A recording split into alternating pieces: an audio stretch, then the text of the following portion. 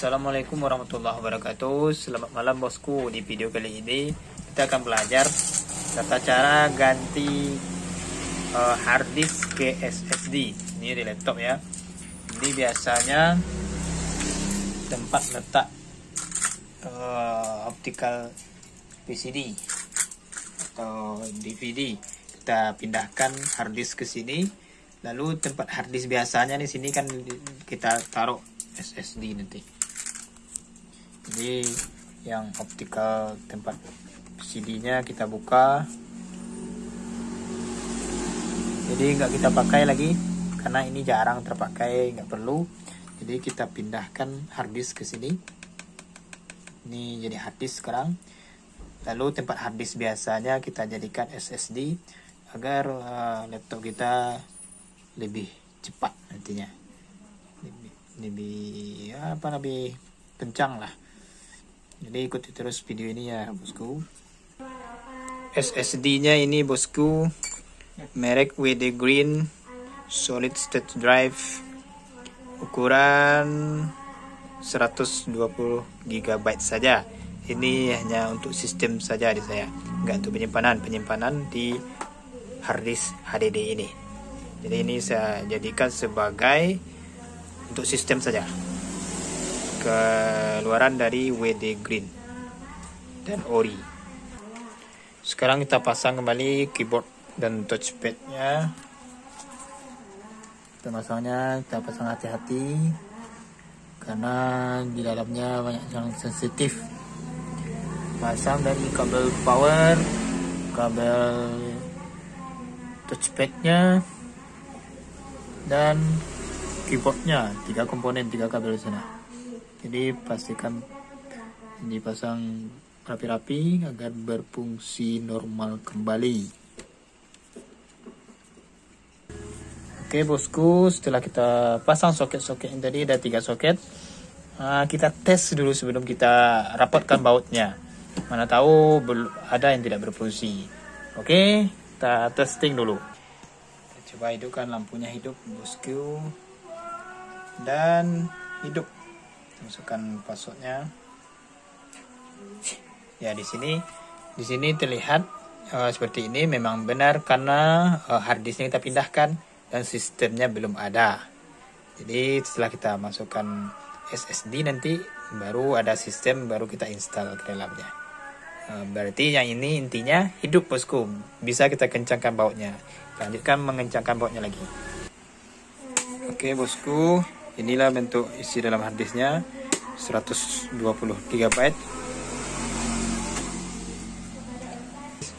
oke di sini terlihat remove remove before installing. Nah kita buka ini yang kuning ini ya, ya bosku. Sebelum kita pasang ini kan kita pasang di sini nanti. Oh, pengamannya pengamannya di dalam laptop nanti. Buka yang kuning.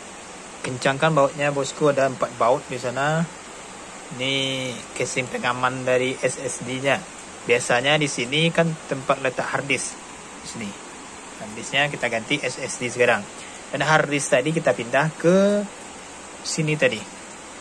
Biasanya di sini kan tempat letak oh, kaset optikalnya. Kita buang optikalnya, kita ganti ke hard disk di sini kita pindahkan.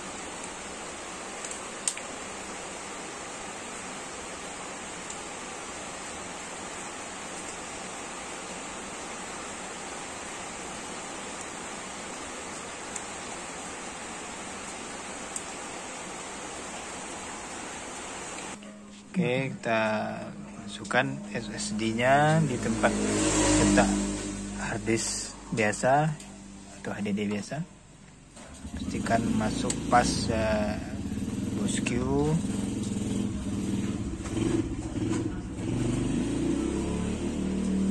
Dan kencangkan bautnya kembali.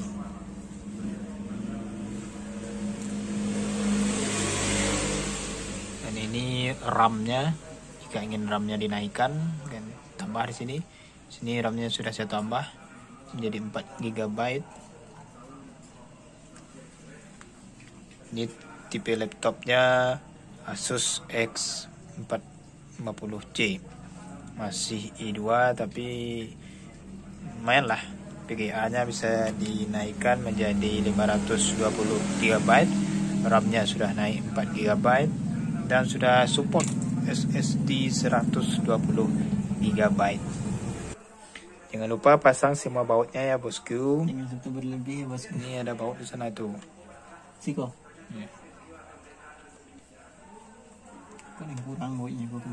ini baterai CMOS nya bosku Oke bosku, sudah selesai. Saatnya kita coba hidupkan kembali.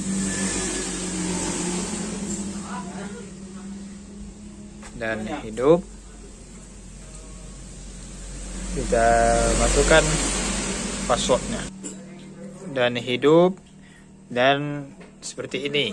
Ini dikarenakan sistemnya belum ada karena SSD kita tadi masih kosong.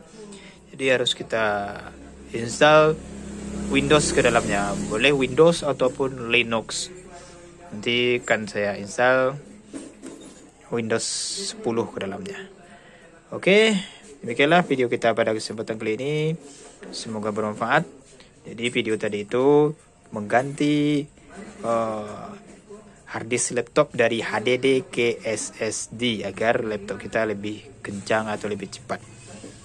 Oke, selanjutnya kita ke proses instalasi OS-nya atau instalasi Windows-nya. Uh, ditunggu ya bosku. Untuk sementara kita skip video ini terlebih dahulu.